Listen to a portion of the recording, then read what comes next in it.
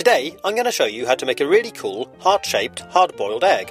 Start by putting your egg into boiling water and leaving it to boil for 5 or 10 minutes. Once it's done, run the pan under cold water and let it cool down.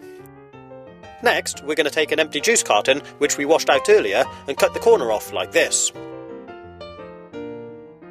Once the egg has cooled down, peel it and sit it in the middle of the cardboard.